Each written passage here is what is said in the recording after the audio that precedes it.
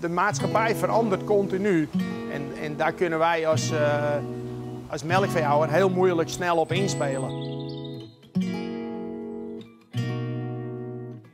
Ik ben melkveehouder in Heemskerk. Samen met mijn vrouw en mijn twee zonen hebben we twee kleine melkveebedrijven. Hier hebben we 70 melkkoeien. En uh, wij produceren zo ongeveer 600.000 liter melk. En dat gaat naar de melkfabriek in de Beemster. Markten veranderen, de consument verandert. En daar moeten de veehouders voor mijn gevoel ook wel voor een deel in meegaan. Alleen dat is voor een individuele boer wel best wel lastig om te doen.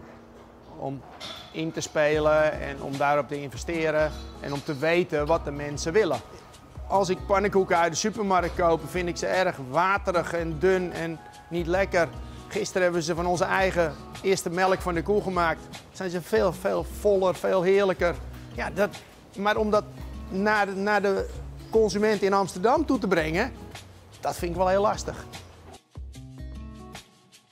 Vanuit de consument is er steeds meer vraag naar uh, lokaal geproduceerd eten, hoge kwaliteit. En die consument is daar ook bereid om, dat, uh, om dat, uh, daarvoor te betalen, om daar iets meer voor te betalen dan, dan gewoonlijk. Ook boeren zien dat en die zien daar ook steeds meer kansen in, maar stellen misschien over het algemeen zich nog te vaak de vraag, maar, maar hoe dan? Hè? Hoe ga ik dat aanpakken? Hoe ga ik van massa naar iets kleinschaligere productie toe?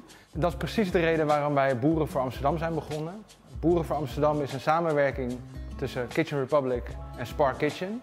En dat moet het mogelijk maken om een verbinding te leggen tussen agrariërs en creatieve voedselondernemers uit de stad. Om samen tot duurzame en innovatieve producten te komen die we gezamenlijk in de markt kunnen brengen.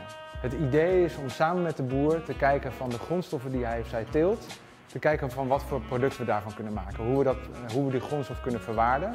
En dat is precies waar Kitchen Republic dan een toegevoegde waarde kan bieden. Want wij hebben over de afgelopen jaren hebben wij honderden voedselproducenten, klein en groot, geholpen in hun uh, weg naar het vermarkten en het uiteindelijk op de markt brengen van een bepaald product.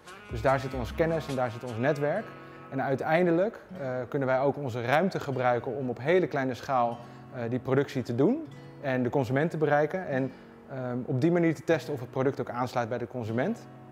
En eh, mocht dat lopen, mocht dat succesvol zijn, um, dan is de andere partij in onze samenwerking, Spark Kitchen, ook weer de plek waar we dan naartoe kunnen om die productie eigenlijk nog verder op te schalen. Om nog meer Nederlanders, nog meer consumenten te bereiken. En het doel van Boeren voor Amsterdam is ervoor te zorgen dat de boer mede-eigenaar wordt van het product, zodat ook zij kunnen mee profiteren van de ontwikkelingen in de markt.